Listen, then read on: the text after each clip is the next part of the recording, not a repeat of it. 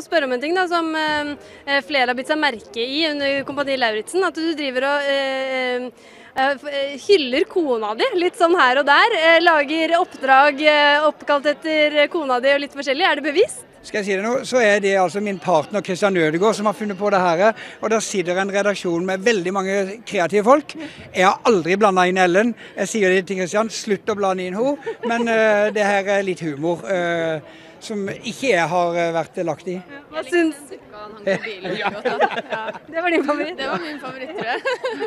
Hva syns Ellen om det, da? Ellen. Nei, hun ler jo litt, men eh, det er jo litt flaut. Jeg syns det er pinlig, men eh, det sier mye pinlige ting. Men det er jo humor og det er god kjærlighet i bunnen. Jeg og Kristian har jobba sammen siden ja, 14 år nå.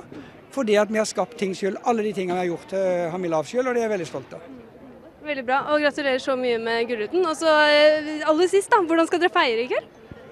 Det blir hæla i taket. Hæla det i taket? Det blir hyggelig. Hyggelig å være sammen og ses. og eh, Dag Otto har jo, eh, var ikke på finalefest, for da var du i Spania. Nei, for da var jeg i Spania. Jeg ser du er brun. Ja, ja, jeg kom fra Spania i dag for fem timer siden. Veldig Ja. Det er veldig bra. Kos dere masse, masse.